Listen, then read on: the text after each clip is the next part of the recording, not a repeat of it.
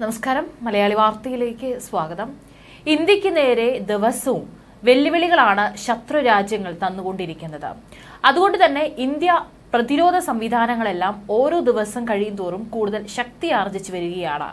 പുതിയ പദ്ധതികളും അതുപോലെ തന്നെ പുതിയ ആയുധങ്ങളുമാണ് ഇന്ത്യ ഇറക്കുന്നത്. അതുകൊണ്ട് തന്നെ ഇതെല്ലാം ശത്രു രാജ്യങ്ങൾക്കുള്ള ഒരു താക്കീത് തന്നെയാണെന്ന് ഉറപ്പിച്ചു പറയാം.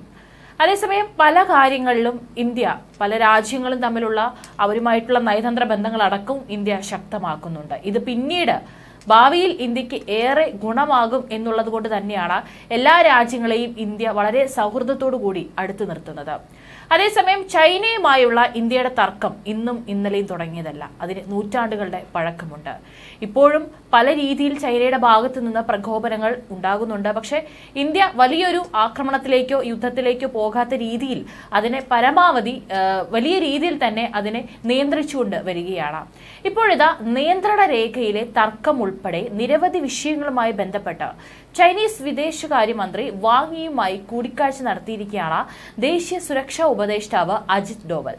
ബ്രിക്സിന്റെ ദേശീയ സുരക്ഷാ ഉപദേഷ്ടാക്കളുടെ യോഗത്തിൽ പങ്കെടുക്കുന്നതിനായി റഷ്യയിലെ സെന്റ് പീറ്റേഴ്സ്ബർഗിൽ എത്തിയപ്പോഴായിരുന്നു കൂടിക്കാഴ്ച. ഇന്ത്യയും ചൈനയും തമ്മിലുള്ള ബന്ധം മെച്ചപ്പെടുത്തുന്നതിനും എൽ എ സിയിലെ പ്രശ്നങ്ങളുമെല്ലാം ഇരുവരും ചർച്ച ചെയ്തതായി വിദേശകാര്യ മന്ത്രാലയം പുറത്തുവിട്ട പ്രസ്താവനയിൽ പറയുന്നു. യഥാർത്ഥ നിയന്ത്രണത്തിലെ ഇനിയും അവശേഷിക്കുന്ന പ്രശ്നങ്ങൾ പരിഹാരം കാണുന്നതിനും പ്രശ്നപരിഹാരങ്ങൾ ഇതുവരെ നടത്തിയ ശ്രമങ്ങൾ അവലോകനം ചെയ്യുന്നതിനും ഇരുപക്ഷത്തിനും അവസരം ലഭിച്ചു. ഇന്ത്യയും ചൈനയും തമ്മിലുള്ള ബന്ധം മെച്ചപ്പെടുത്തുന്നതിനും കൂടുതൽ ദൃഢമാക്കുന്നതിനുമുള്ള സാഹചര്യങ്ങൾ ഇതുവഴി സൃഷ്ടിക്കപ്പെടും. തർക്കബാധിത മേഖലകളിൽ കൂടുതൽ ഇടപെടലുകൾ നടത്താനും ഇരുപക്ഷത്തു നിന്നും പ്രശ്നപരിഹാരത്തിലുള്ള ശ്രമങ്ങൾ വർദ്ധിപ്പിക്കാമെന്ന് ഇന്ത്യയും ചൈനയും തീരുമാനിച്ചതായി പ്രസ്താവനയിൽ പറയുന്നു. ഇന്ത്യയും ചൈനയും തമ്മിലുള്ള ബന്ധം സാധാരണ നിലയിലാകണമെങ്കിൽ എൽ ഐ സിയിൽ സമാധാനം പുനഃസ്ഥാപിക്കപ്പെടുന്നതും ബഹുമാനം പുലർത്തുന്നതും നിർണായകമാണെന്നും അജിത് ഡോവൽ പറയുന്നു. മുൻകാലങ്ങളിൽ രണ്ട് സർക്കാരുകളും ഉണ്ടാക്കിയ ധാരണകളും ഉഭയകക്ഷി കരാറുകൾ പാലിക്കപ്പെടണമെന്നും അദ്ദേഹം വ്യക്തമാക്കി. ഇന്ത്യ ചൈന ബന്ധം ശക്തിപ്പെടേണ്ടത് ആഗോളതലത്തിൽ തന്നെ വലിയ പ്രാധാന്യം അറിയിക്കുന്ന കാര്യമാണെന്ന് ഇരുകൂട്ടരും അംഗീകരിച്ചു. പ്രാദേശിക തലത്തിലും ആഗോളതലത്തിലുമുള്ള വിഷയങ്ങളെക്കുറിച്ചും ഇരുവരും ചർച്ചകൾ നടത്തി. അതുമാത്രമല്ല ഉക്രൈൻ സംഘർഷത്തിന് പരിഹാരം കണ്ടെത്തുന്നതിൽ ഇന്ത്യയുടെ സാധ്യമായ പങ്കിനെക്കുറിച്ചുള്ള പുതിയ ആഹ്വാനങ്ങൾക്കിടയിൽ ദേശീയ സുരക്ഷാ ഉപദേഷ്ടാവ് അജിത് ഡോവൽ റഷ്യൻ പ്രതിനിധി സെർജി ഷോയ്ക്കുമായും സെന്റ് പീറ്റേഴ്സ്ബർഗിൽ വിപുലമായ ചർച്ചകൾ നടത്തിയിട്ടുണ്ട്. ഇരു രാജ്യങ്ങളും തമ്മിൽ പരസ്പര താൽപര്യങ്ങൾ സംബന്ധിച്ച സുപ്രധാന വിഷയങ്ങൾ ചർച്ച ചെയ്തു എന്നാണ് വിവരം. ബ്രിക്സ് രാജ്യങ്ങളുടെ ദേശീയ സുരക്ഷാ ഉപദേഷ്ടാക്കളുടെ കോൺക്ലേവിന്റെ അരികിലാണ് ബുധനാഴ്ച വൈകുന്നേരം ഡോവൽ ഷോയ്ഗു കൂടിക്കാഴ്ച നടന്നത്.